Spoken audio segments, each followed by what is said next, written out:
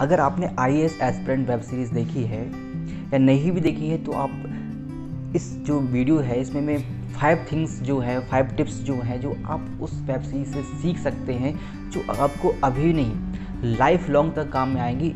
इस एस्पिरेंट से, इस एस्पिरेंट वेब सीरीज़ से हम पाँच चीज़ें सीख सकते हैं। इनको मैं पॉइंट टू पॉइंट आपको बहुत अच्छी तरीके से एक्सप्लेन करूँगा, जिसमें फ़र्स्ट पॉइंट आता है लव लव जो है, जो फ़र्स्ट टाइम जो फ़र्स्ट टाइम लव जो होता है किसी व्यक्ति को, वो पहला वाला प्यार जो है ना, हमेशा चलता है। आप कितने भी पार्टनर बदल लो कितने भी पार्टनर आपके बदल जाए, लेकिन जो पहला वाला प्यार जो होगा, वो हमेशा आपको याद रहेगा, उसकी मेमोरीज हमेशा आपके मन में रहेंगी। जैसे अभिलाष अभिलाष का जो पहला वाला लव था, वो चाह के भी उसको लाइफ लॉन्ग भूल नहीं पाया। हालाँकि उसने बात नहीं की, लेकिन वो उसका स्पैक्स जो है, चश्मा जो था, वो साथ में रखा, उसका कवर इवन कवर भी वो अपने साथ में रखता है इस वेब सीरीज़ में लास्ट लास्ट तक। लेकिन जब वो अपने दोस्त के लिए उसको भी बलिदान कर देता है। हालाँकि बहुत से लोग संदीप भैया को मेंटर मान रहे हैं, बहुत अच्छा मान रहे हैं, गुरु मान रहे हैं। मैं भी मानता हूँ, ऐसी बात नहीं कि मैं नहीं कहता कि संदीप भैया इज़ अ ग्रेट कैरेक्टर मैं भी मानता हूँ। लेकिन असली हीरो तो अभिलाष ही है। क्यों? क्योंकि वो सफ़र पूरा कर, जहाँ से उसने जर्नी स्टार्ट की थी, वो जर्नी पूरी करता है और सामने वाले के लिए, अपने दोस्त के लिए अपना कुछ बलिदान भी दे देता है। हालाँकि सबने कुछ ना कुछ सेक्रीफाइस किए हैं अभिलाष के लिए भी, लेकिन अभिलाष का जो सेक्रीफाइस है, मैं सबसे बड़ा मानता हूँ कि अपने पहले लव को किसी को आसानी से दे देना अपने आप में बहुत बड़ी बात है, बहुत बड़ी बात है। सोचो, वो इस स्पैक्स उसका संभाल के रखा है, लेकिन इसका मतलब है वो इन जो दरमियान जो उसका टाइम रहा है तीन चार साल, उसमें वो उसको भूला नहीं है। क्योंकि उसके स्पैक्स आज भी उसके पास है। हमारे हमारे पास स्पैक्स होते हैं तो दस पंद्रह दिन में टूट जाते हैं, फेंक देते हैं, कुछ भी घटना हो जाती है। तो उसके पास वो स्पैक्स है, उसके साथ साथ उसका रैपर भी है। मतलब आप समझिए, उसका लेवल समझिए, उसके लव का लेवल समझिए। भले ही वो एक्सप्लेन ना कर पा रहा हो, भले ही उसने उससे जाकर कभी सॉरी ना बोला हो, लेकिन ये चीज़ थी उसके अंदर। तो फ़र्स्ट पॉइंट याद रखना कि फ़र्स्ट लव जो होता है, बहुत इंपॉर्टेंट होता है। सेकंड चीज़ जो हम उससे सीख सकते हैं वो ये है कि we are just like a tripod tripod कौन थे? उसके तीन दोस्त। तीन कुत्ते दोस्त। लाइफ में एक, दो या तीन कुत्ते दोस्त होने चाहिए, क्योंकि जब भी आप कोई अचीवमेंट अचीव करते हैं, जब भी कहीं आप सक्सेस होते हैं या कुछ भी प्रॉब्लम्स होती हैं जब तक ये तीन कुत्ते दोस्त आपके साथ शेयर ना करें, आपसे आप उनके साथ शेयर ना करो, तब तक मज़ा नहीं आता लाइफ में। संदीप भैया कहते हैं, संदीप भैया की वो लाइन बहुत प्यारी है कि हम देश के लिए तो बहुत अच्छा कर रहे हैं, लेकिन हम अंदर से बहुत खालीपन महसूस कर रहे हैं क्योंकि हमारी सफलता जो है, उसको हमें सेलिब्रेट करने के लिए कुत्ते दोस्तों की ज़रूरत है, जो हमारे पास नहीं रहेंगे। इसलिए दोस्त का इम्पोर्टेंस बहुत ज़रूरी है लाइफ में। छोटी मोटी घटनाएँ हो जाती हैं लड़ाई झगड़े हो जाते हैं, कोई बात नहीं। अगर सामने वाला नहीं कह रहा है सॉरी तो तुम जाके बोल दो। क्योंकि दोस्त एक ऐसी चीज़ होती है ना।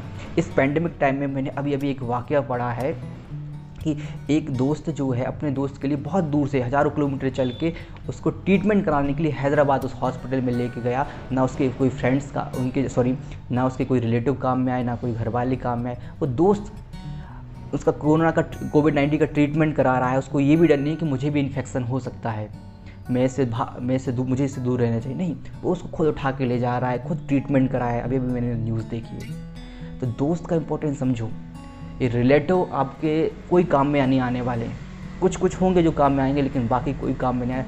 तो दोस्त जो है, बहुत इंपॉर्टेंट चीज़ है लाइफ की।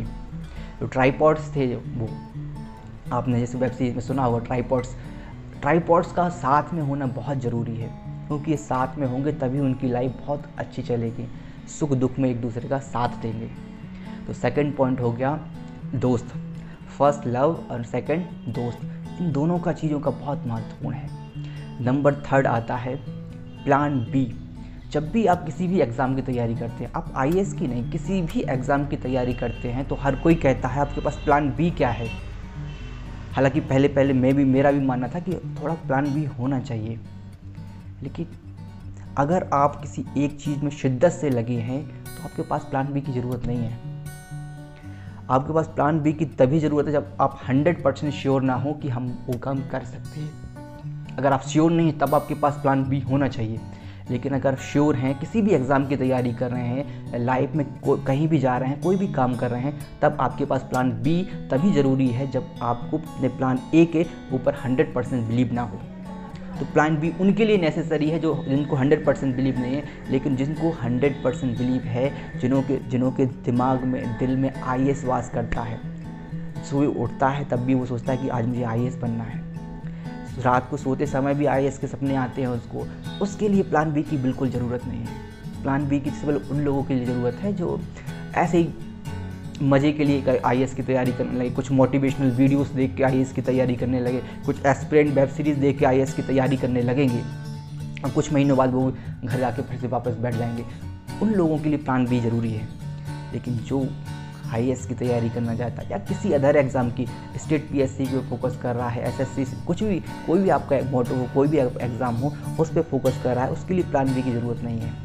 अगर आप हंड्रेड परसेंट श्योर हैं तो सर थर्ड थर्ड थिंग होगी प्लान बी होना चाहिए कि नहीं होना चाहिए? तो किन लोगों के पास होना चाहिए प्लान बी जो हंड्रेड परसेंट श्योर नहीं है। जो हंड्रेड परसेंट श्योर उनके लिए प्लान बी की कोई ज़रूरत नहीं। और नंबर फोर्थ पॉइंट है पॉजिटिव अप्रोच या पॉजिटिव थिंकिंग देखो, आप किसी भी एग्ज़ाम की तैयारी करो तो आप एक्चुअली बहुत सारे लोग क्या होते हैं कि जैसे जैसे उनके पास नॉलेज आता है तो क्रिटिक्स ज़्यादा हो जाते हैं। एकदम लोगों की आलोचना करने लगते हैं, हर चीज़ में आलोचना देखने लगते हैं। तो आपका ये अप्रोच कभी नहीं होना चाहिए। देखो, आलोचना आपको पता होनी चाहिए कि क्या इसके प्रॉस और क्या इसके कॉन्स हैं। लेकिन आप आई बनने वाले हैं तो आपको हर प्रॉब्लम का एक सॉल्यूशन देना पड़ेगा। है ना? आपको प्रॉब्लम पे फोकस करना है, लेकिन इससे इम्पोर्टेंट चीज़ क्या है कि आप उसके सॉल्यूशन पे फोकस कीजिए कि ये प्रॉब्लम है तो इसका ये सॉल्यूशन है। तो सॉल्यूशन पे ज़्यादा ध्यान देना है। धैर्य। धैर्य जब अभिलाष को सिखाती है कि तो हमेशा अच्छी बात है, तुम्हारे पास आलोचनात्मक दृष्टिकोण है, लेकिन उसके साथ साथ आपके पास सॉल्यूशन क्या है प्रॉब्लम्स का? आप प्रॉब्लम में सॉल्यूशन को क्यों नहीं देखते? आप प्रॉब्लम में प्रॉब्लम को क्यों देखते हो? आप हमेशा नेगेटिव क्यों सोचते हो? तो हमेशा पॉजिटिव अप्रोच और ऐसा नहीं है कि किसी आईएएस एग्ज़ाम में बस ज़रूरत होती है इसकी। आपके लाइफ में हर पार्ट में, हर किसी एग्ज़ाम में यही अप्रोच की ज़रूरत होती है और आपका जो लाइफ है, जब भी आप, जैसे जैसे आपकी उम्र बढ़ती जाएगी, आपके हर लाइफ के हर पार्ट में फैमिली में बिज़नेस कर रहे हैं तो बिज़नेस वाले एरिए में, कहीं पर भी, किसी भी पार्ट में आपके लाइफ में हो, हमेशा पॉजिटिव अप्रोच की अभी आवश्यकता होती है। क्योंकि अगर आप हमेशा आलोचना करते रहेंगे तो आपसे लोग दूर भागते जाएँगे। यही आई एस में धैर्य अभिलाष के लिए सिखाती है कि देखो अभिलाष भाई, उसका जो धैर्य, जो गर्लफ्रेंड है अभिलाष की स्टार्टिंग में थी लास्ट में तो उसकी गुरी भाई के साथ शादी हो जाती है, बहुत दुखद सीन रहता है वो। तो जो फ़र्स्ट पॉइंट जो था कि धैर्य अभिलाष को यही चीज़ सिखाती है, जो अभिलाष को आई बनने में बहुत इंपॉर्टेंट रोल करती है। तो धैर्य का आई अभिलाष के आई बनने में बहुत इंपॉर्टेंट रोल है, क्योंकि धैर्य ही है, वह लड़की है जिसने अभिलाष को सिखाया है कि लाइफ को पॉजिटिव तरीके से कैसे लें। लाइफ को एक पॉजिटिव डायरेक्शन में सिखाना एक बहुत बड़ी उपलब्धि थी धैर्य की जो उसने अभिलाष को सिखाई। और शायद उसने उसको थैंक यू नहीं बोला होगा। लास्ट में भी मैं सोच रहा था कि उसको कुछ बोलेगा, लेकिन वो उस वेब सीरीज़ में जितना उन्होंने कंटेंट देना था और उनके जो प्रोड्यूसर थे, उसके स्टोरी राइटर थे, उन्होंने इतना ही रखा।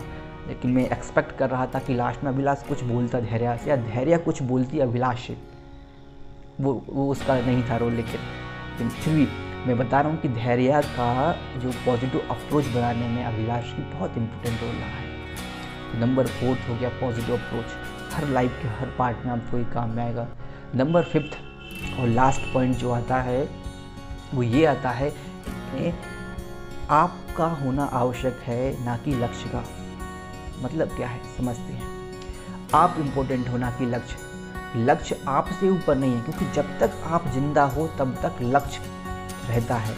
जैसे ही आपकी मृत्यु होती है, जैसे ही आपको कुछ हो जाता है, लक्ष्य कोई काम का नहीं रहता। है जो फिफ्थ पॉइंट है, जो सबसे इम्पोर्टेंट पार्ट है लाइफ का, कि आप इम्पोर्टेंट हो, ना कि आपका लक्ष्य। कहने का मतलब ये है कि ज़िंदगी में कुछ भी हो जाए, हो सकता है आप अपने टारगेट को 100 परसेंट के बाद भी अचीव ना कर पाओ तो इसका मतलब ये नहीं है कि लाइफ ख़त्म हो जाती है।